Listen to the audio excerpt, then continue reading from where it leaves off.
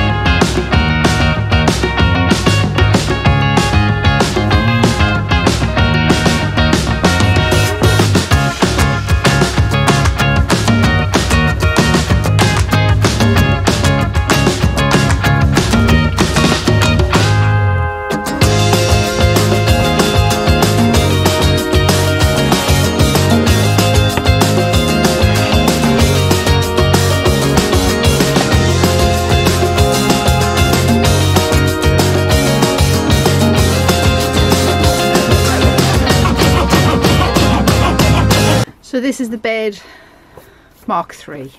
Well, we've been on it a while. So what we've got is a new thicker piece of wood and it's a longer piece so it fits right to the back of the bed. Darren's just shaped a little curve that matches the curve there in the corner. And this will hopefully now work. Should pop it into place, see how it's going to look? Yep. So this one then will go into this little space here. That will sit quite flush to that. Just push it back a little bit, JD. Yep, that'll kind of go there. Excellent.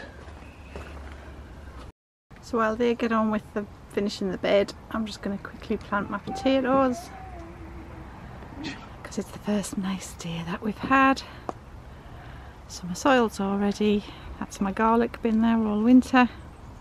I'm just going to pop my little sweet potatoes in and leave them.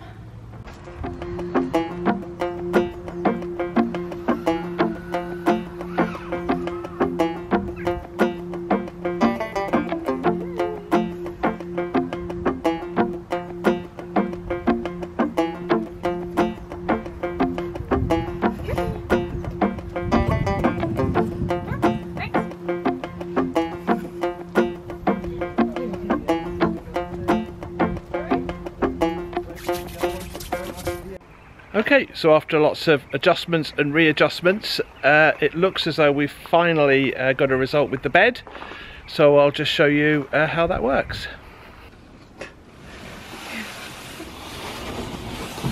It's meant to be one person. Hooray! Finally.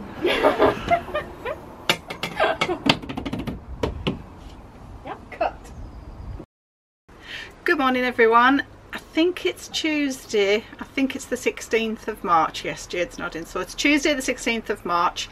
Um, we thought we'd just give a quick recap of the evolution of the bed because it's practically finished now um, and we think we've got it to the point where it's easy for Jade to use it and she's going to get the best out of the space and a comfortable night's sleep kind of thing. So you've seen previously if you've watched the other vlogs about how we made this section of the bed which is going to be like the permanent up um, day settee kind of thing. So it's quite wide it's the full width of the back. Throw the doors open have your cup of coffee do whatever um, and then this section here is the sleeping section. So it's made into a single bed. Um, and you've seen where we've managed to shape and what have you get the the length out.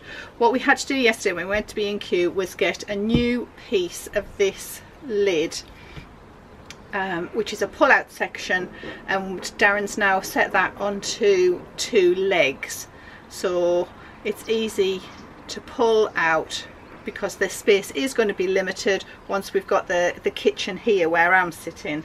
Um, on a night Jade's not going to have a, an awful lot of space to be fiddling and pulling heavy things out which was sort of where we were going with the last model of the bed.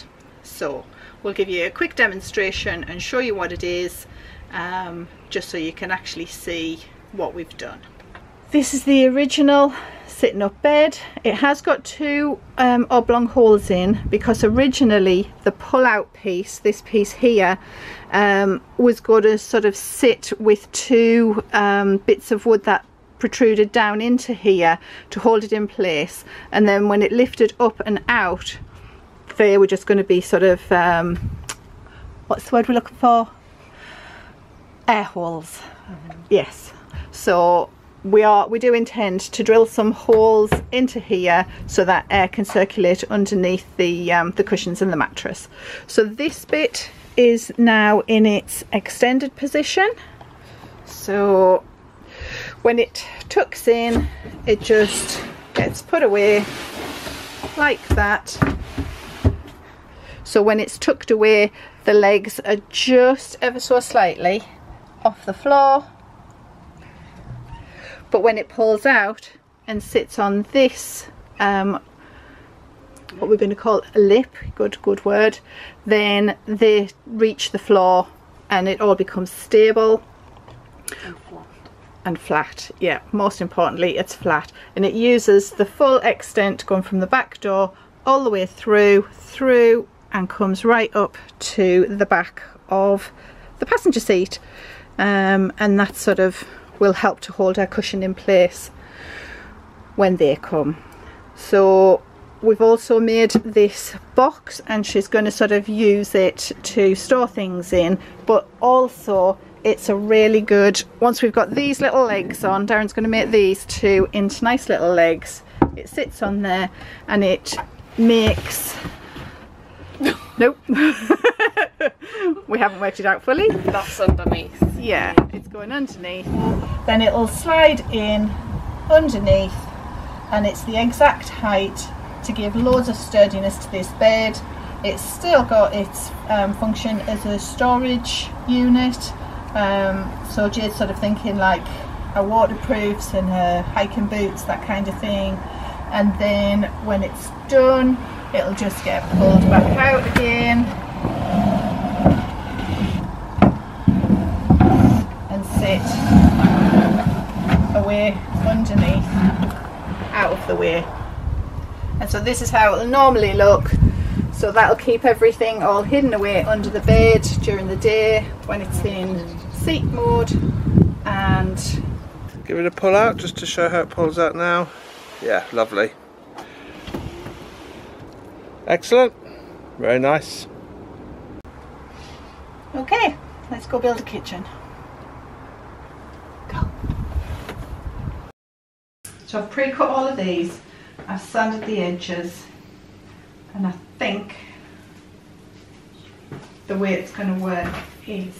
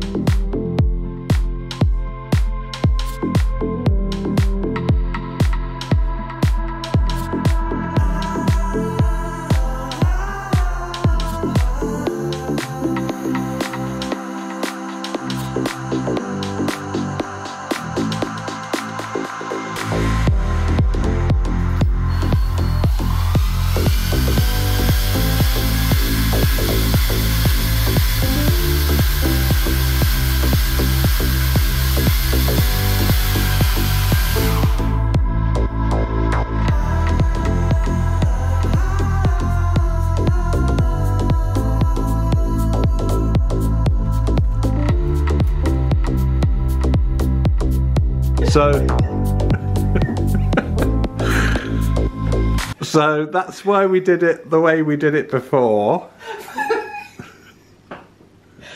But this is why we're doing it this way. No. Yeah. Why? Because this is what we've got.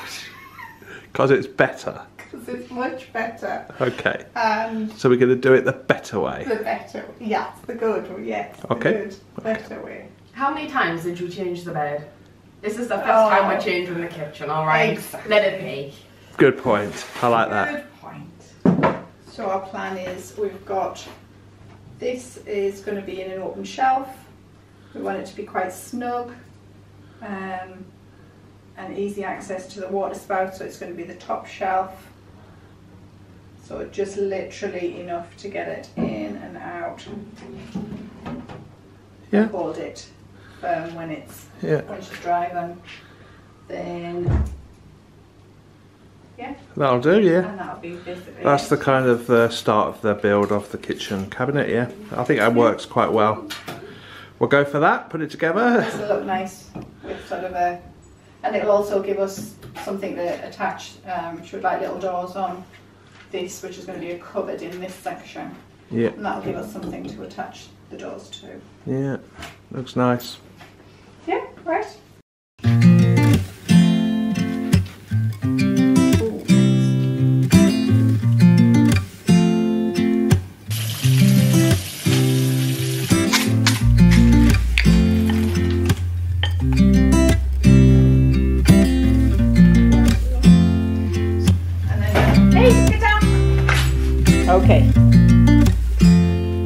Boy.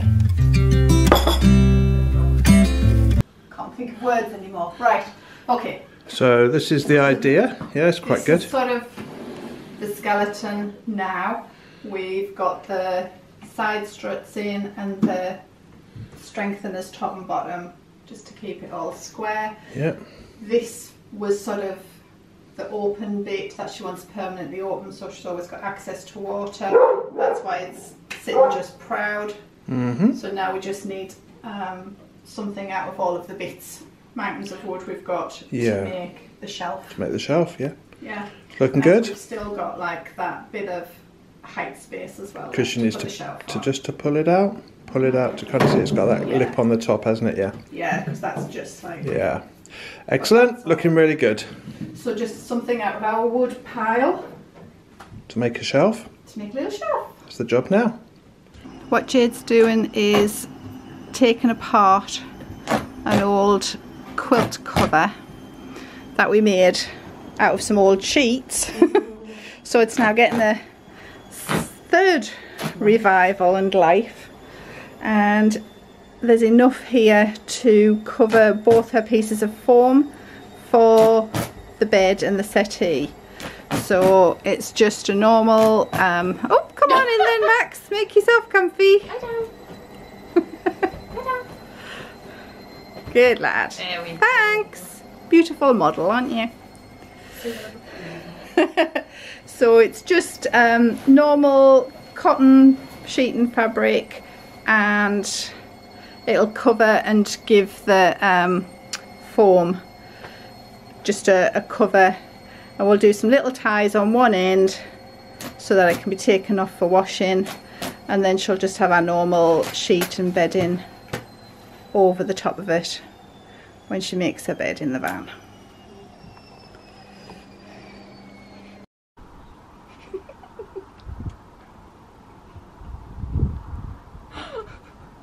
So what I'm doing at the moment is just trying to make a mark. We need to scoop out um, for this big metal part which is the lock on the sliding door um, because this is the back of the kitchen which is going to cover up all of the different edges and try and make it more complete. I can't bend it properly. You can. Oh well, there you go. So we've cut that piece out to go past this metal lock part. Then we've got the end, kitchen end piece and it's come up and come flush with the shelf that we put in. So now we just have to figure out how to attach the back to cover all of this Yeah. and make it look square and straight and finished.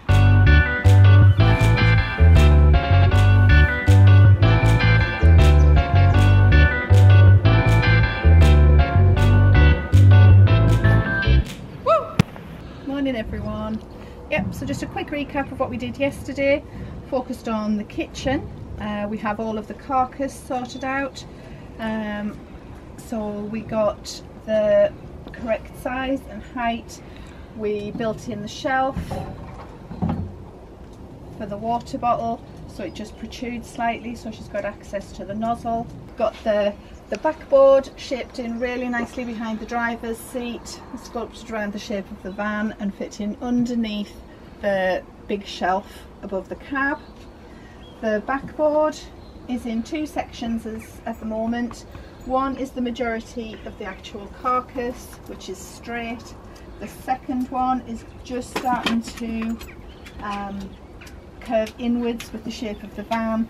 And now today's tasks are to get this last section, which has the biggest curve, because not only is it curving up to the roof of the van, it's also curving in and round where the cab is narrower than the back of the van. So that's um, our first focus for today. Then we're going to put in two shelves. One, um, well, two quite narrow ones. The top one is for a little cooker and the second is for our washing up bowl and all of our cleaning products. Then that'll leave big space in the bottom for food and pans and that kind of stuff. Yeah, so this is the difference. That's the gap where the van is wider at the back and then it curves up to the ceiling, but it's fully touching at the front. Yeah. Okay. So this is what we have to work out today. So we think we've figured it out and strangely it worked first time this time. Yeah. So um, the the length we knew should be right from our initial measurements.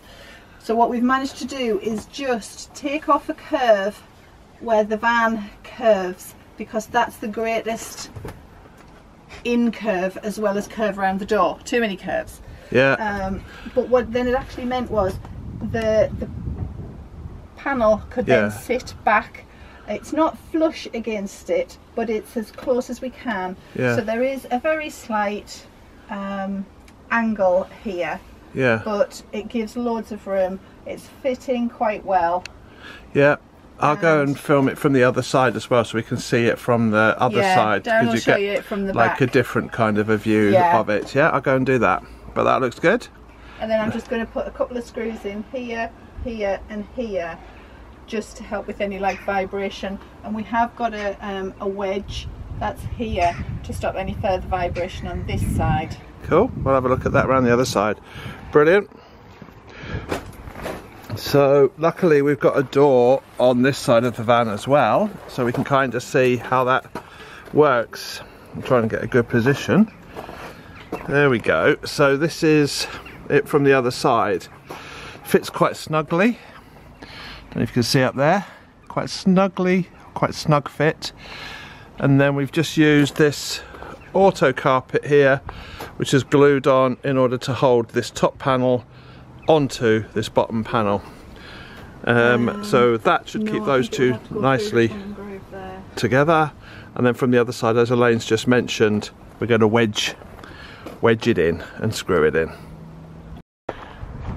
Good evening, everyone. So today's been quite a productive day. We've moved on quite quickly with everything uh, today, which is unusual. It usually takes forever to do everything.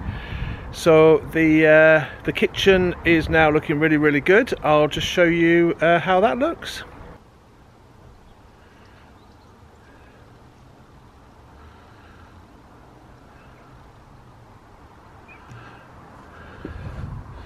Okay, so we've built the frame. As you can see, we've put the uh, yeah the drinks, well, the water container, the cooker, and Jade's sink in place.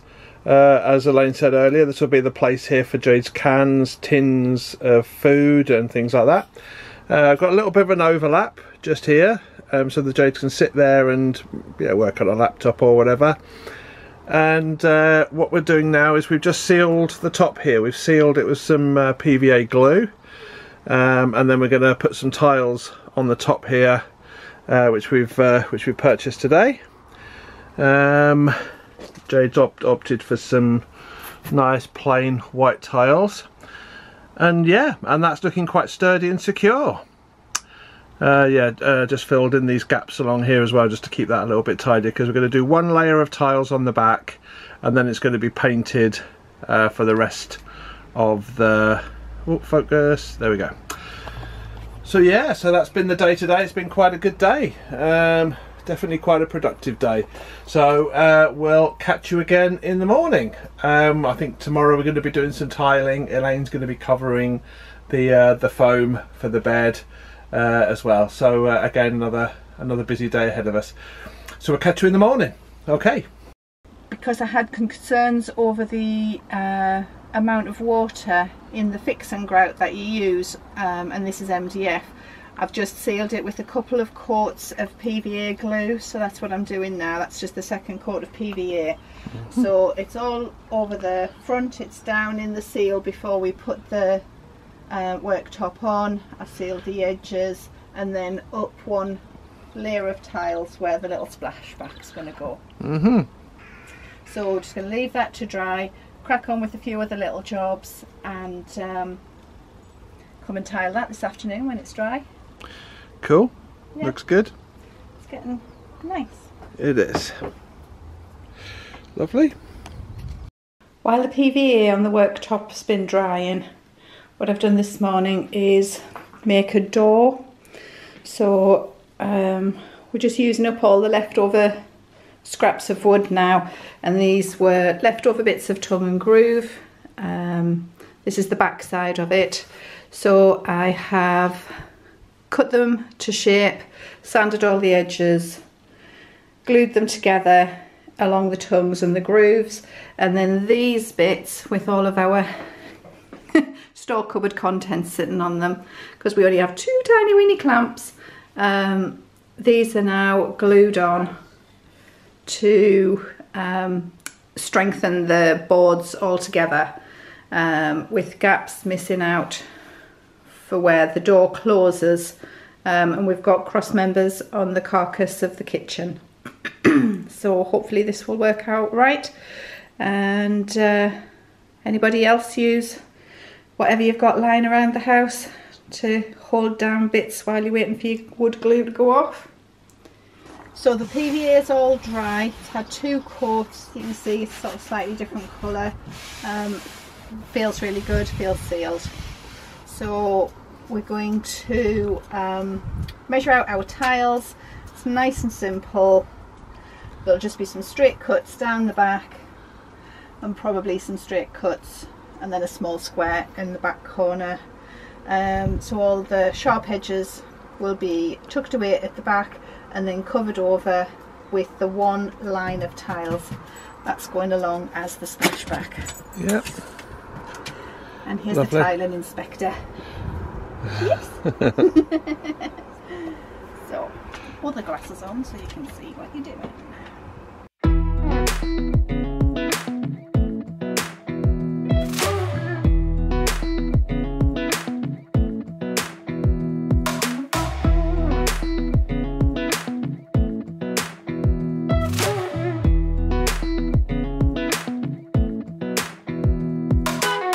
This is the last one going in.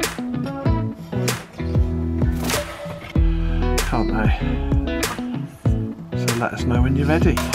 I'm already recording.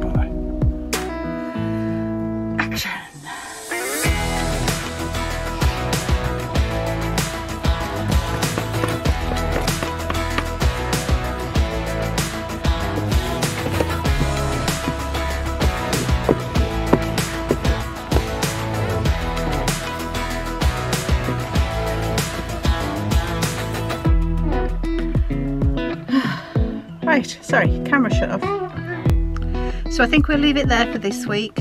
Uh, we've done quite a bit. It's almost done. There's just a few more small finishing touches and for Jade to make it her own space. So we'll leave that for the van tour next week. So take care. Hope you're all having a good week.